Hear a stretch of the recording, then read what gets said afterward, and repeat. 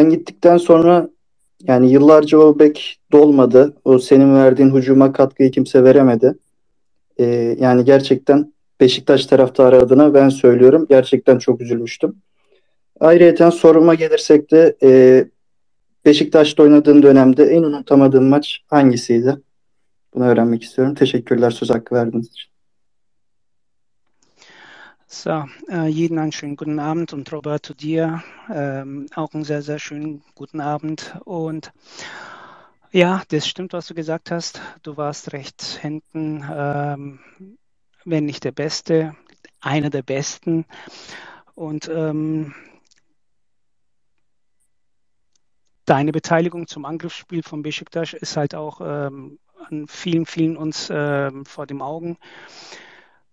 Die Frage geht eigentlich in die Richtung, der würde gerne wissen wollen, welches Spiel ähm, du nicht vergessen konntest. Ähm, also grundsätzlich äh, kann ich die ganzen drei Jahre nicht vergessen. Das ist das eine. Ähm, das andere ist, ich glaube, dass einer der besondersten Spiele, die wir, glaube ich, auch vor allen Dingen im, im Indienstadion hatten, äh, war das äh, letzte Derby gegen Fenner, wo wir in der letzten Sekunde dank Olcay äh, 3-2 gewonnen oder gewinnen konnten.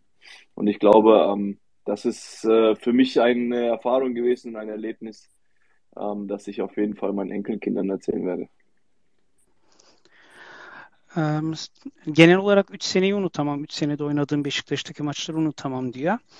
Ama bir tane eksplicit söylemek gerekirse diyor. Tabii ki İnönü'de oynadığımız son derbi Fenerbahçe derbisi. Olcay'ın son saniyede atmış olduğu ve bizim yendiğimiz gol ile diyor. Torunlarıma da anlatacağım bir maç. cevabı böyleydi Burak.